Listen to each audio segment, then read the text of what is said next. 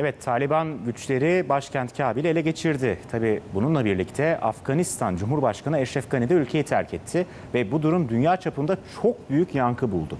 Pentagon'da da gündem Gani'nin kaçışıydı. Afgan bir muhabir benim Cumhurbaşkanım nerede diye sordu. Pentagon sözcüsü ise cevap veremedi. Here is my president, former President Ghani. People expected that he bye bye with the people, and immediately he ran away. We don't know where is he. Afgan muhabir Nazira Kerimi gözyaşları içinde sordu. Pentagon sözcüsü John Kirby teselli etmeye çalıştı. obviously can't speak for Açıkçası Eşref Gani'nin nerede olduğu hakkında konuşamam. Bunu yapamam. Ama tüm saygımla söylemeliyim, anlıyorum. Hepimiz endişe ve korkunuzu anlıyoruz. uh. Pentagon sözcüsü Kirby günlük basın toplantısı düzenledi. O basın toplantısı sonrası gazetecilerin sorularını alan sözcüyle Afgan gazetecinin diyaloğu toplantıya damga vurdu.